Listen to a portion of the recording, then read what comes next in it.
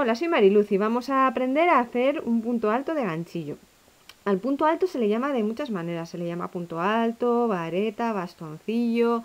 Entonces yo me voy a referir a él como punto alto porque es como le he llamado siempre. Eh, para empezar, cuando partimos desde, desde, la cadeneta, lo primero que hay que hacer para, para hacer un punto alto es hacer tres cadenetas más. ¿Vale? Cuando tenemos las tres, eh, tomamos hebra.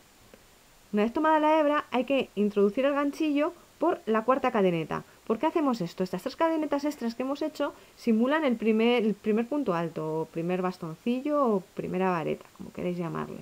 Entonces, eh, ¿por dónde introducimos el ganchillo? Como expliqué cuando, cuando vimos el punto bajo, eh, una cadeneta es como una especie de, de trencita con tres, con tres hebras de hilo, ¿no?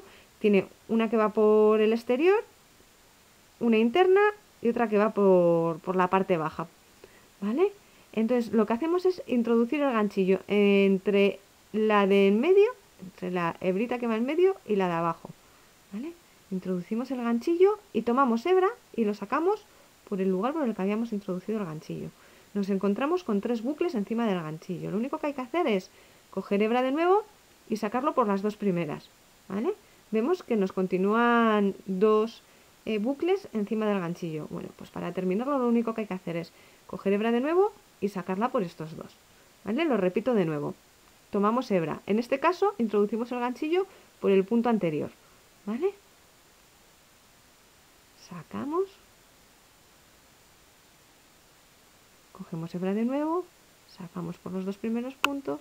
Cogemos hebra de nuevo y sacamos por los dos siguientes. Vale, no hay ni que apretar mucho ni que dejar muy flojo. Yo lo estoy dejando un poco flojito, de hecho he cogido un ganchillo un poco más grueso de lo que necesita esta, esta lana para que podáis ver eh, mejor cómo, cómo, queda y cómo son los dibujos, ¿vale? Porque al, hacerlo eh, un poco suelto, pues se, se, aprecia mejor cómo es el dibujo. Pero en el caso de una labor, al menos que lo que queráis un efecto muy apretadito, que entonces apretaréis mucho la labor, o un efecto más suelto, eh, pues eh, una tensión media eh, de hilo. como vemos, lo único que hay que hacer es coger hebra, introducir el ganchillo, sacar de nuevo, cogemos hebra de nuevo, pasamos por los dos primeros bucles, cogemos hebra de nuevo y pasamos por los dos siguientes. Muy sencillo. Si veis que os queda muy apretado, muy suelto y no es el efecto que buscáis, eh, lo único que tenéis que hacer es eh, o coger un ganchillo más grande o un ganchillo más pequeño. Eh, si veis que lo dejáis muy, apretado, cogéis un ganchillo más grande y si veis que lo dejáis muy suelto, lo contrario, un ganchillo más pequeño.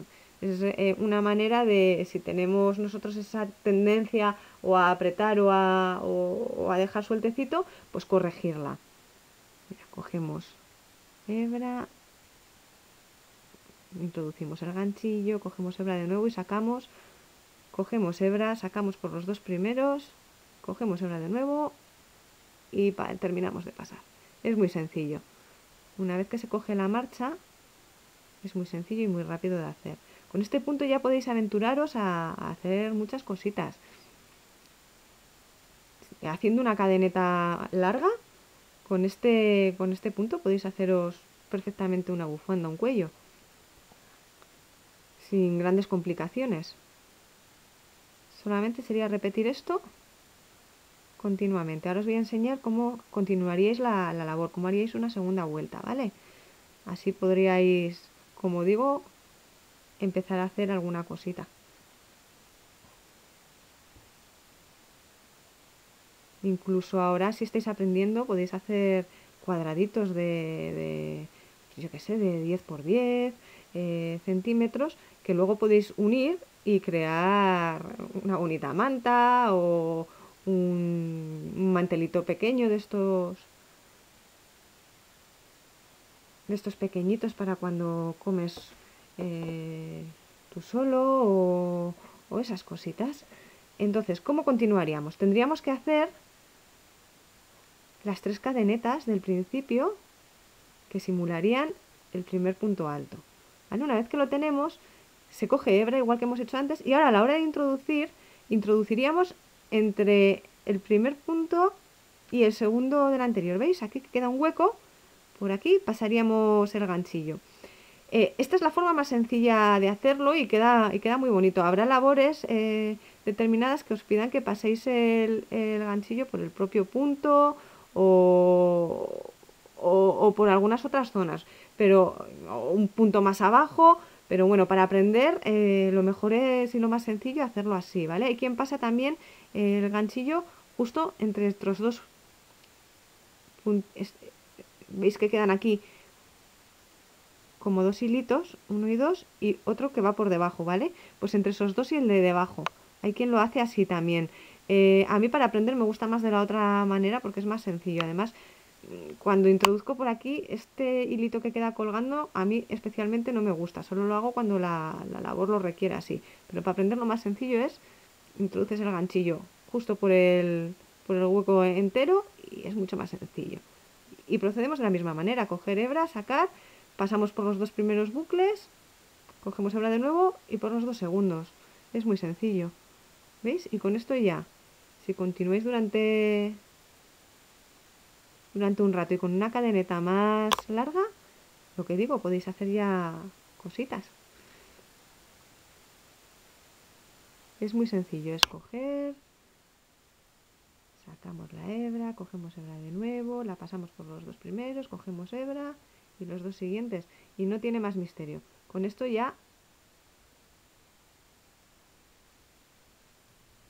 es practicar y practicar, ¿veis? Queda, queda muy bonito. En este caso, como estoy utilizando un ganchillo eh, más grande del debido, ¿veis? Queda unos agujeritos, queda poco tupido. Si lo hacéis con un ganchillo más pequeño o el ganchillo adecuado, pues queda, queda más tupido, si apretáis más. Quedaría más tupido, quedarían menos, menos agujerito. Eso luego ya es, dependiendo de lo que se quiera hacer y del efecto que se quiera conseguir, pues jugar con ello.